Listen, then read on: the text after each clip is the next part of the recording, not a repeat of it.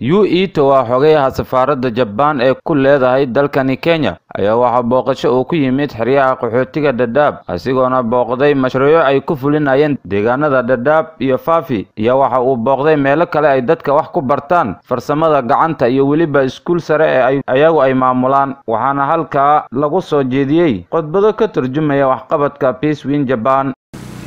iyo juhdi badan bay geliyeen in iskuulkan gabdho annaga aan dhalnay iskuul annaga aan leenahay halkan laga dhiso. Waxaa ka mid a ninka halkan laga soo doortay labada nin ee halkan laga soo doortaba ninka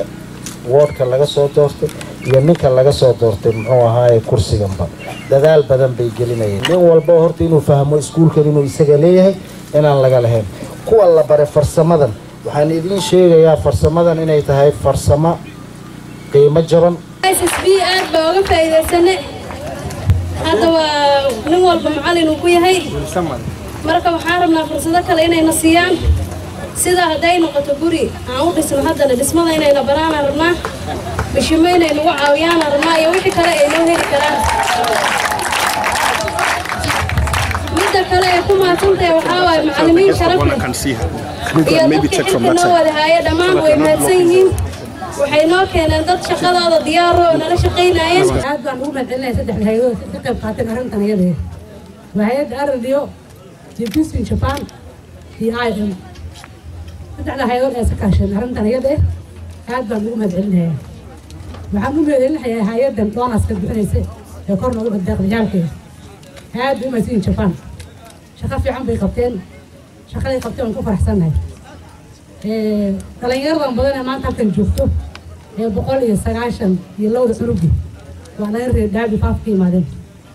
dhalinyarta ayadee xagga sukurit ahaan way naga caawiyeen intaas kadib xogayaha ayaa waxa uu ka qayb galay munaasabad ay ku qalanjebinayeen arday gaarayeen ilaa iyo boqol iyo sagaashan oo sagaashan iyo sagaal ka mid ah ay ahaayeen gabdho. Munaasabadaas ayaa waxa ay ka dhacday deegaanka dhadhaab waxaana ka soo qayb galay madaxda iskuulka iyo weliba waalidiinta waxaana mikrofoonka g t n aan la dhex qaaday shacabka ka soo qayb galay xafladda waxaana hadaladooda ka mid ahaa habkii loo dhisaayay iyo sidii loo maareynayay iyo wixii oo dhanba ay fahmeen oo hadda ay isku dayeen inay dhisahayaan oo haddii lacalla loo baahdo inay loo yeelo oo sida guriga ay u dhisaayeen iyo wixii oo dhanba ay